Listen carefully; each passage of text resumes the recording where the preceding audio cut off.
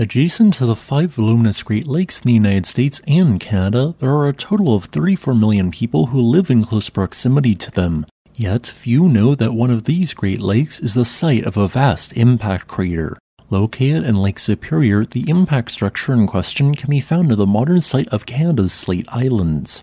These 15 islands, which altogether form a circular shape, represent a feature referred to as a central peak of a complex impact crater that itself measures 31 kilometers or 19.3 miles across.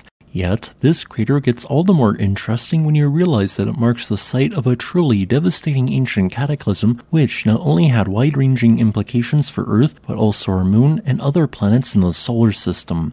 Before I go in depth as to how the aforementioned impact crater relates to a cataclysm known as the Ordovician meteor event, I want to first explain how the Slate Islands formed.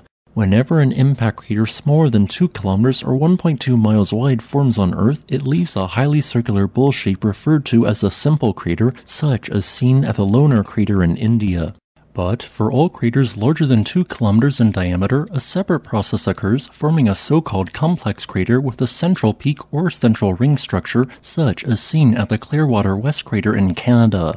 Just after the bowl shape forms, a large mass of rock at the edge of the crater suddenly acts somewhat like a liquid and flows into the bottom of the crater. It then collides and is forced upwards, forming a central peak as it cools.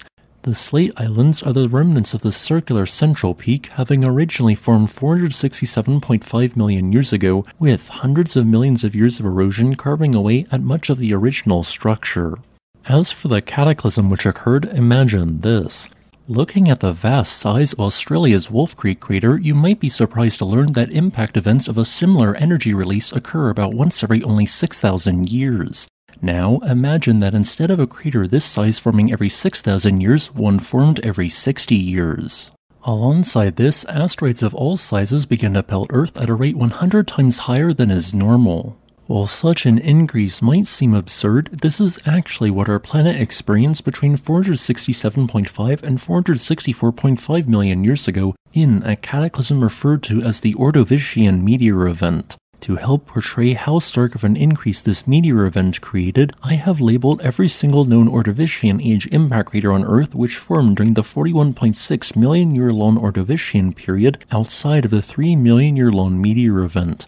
The total only comes to 4 craters. Yet, if we only count the craters that formed during this 3 million year long meteor event, the total comes to 12 craters and these craters are all seemingly aligned along the same orientation, including when accounting for the ancient placement of the continents, suggesting a singular source. This source originated in the asteroid belt between Mars and Jupiter when a 100 mile or 161 kilometer long asteroid unexpectedly collided with another asteroid half its size 468 million years ago, completely annihilating both large masses of rock. After the millions of fragments generated by the collision settled into an unusual orbit, they began to be pulled out of this orbit 500,000 years later and hurled into the inner solar system. This caused numerous asteroid fragments to collide with Earth, presumably the Moon, Mars, Venus, and Mercury. In the case of the asteroid which formed the Slate Island structure, it measured 2,700 meters or 8,858 feet wide. Entering Earth's atmosphere, this 44.2 billion metric ton mass of rock was racing towards the surface at a speed of 17 kilometers per second or 38,000 miles per hour. Impacting the surface, an immense amount of energy equivalent to the detonation of 1.21 million megatons of TNT occurred. This sheer amount of thermal energy caused all vegetation, which at the time was largely mosses within a 500 kilometer radius, to ignite. Even in the modern era, the remnants of this ancient collision can still be seen as one third of all distinct meteorites which have been found are L chondrites, representing an entire group created by the breakup of the aforementioned two massive asteroids more than 400 million years ago. As a final note, I would like to thank this channel's patrons on Patreon and channel members on YouTube.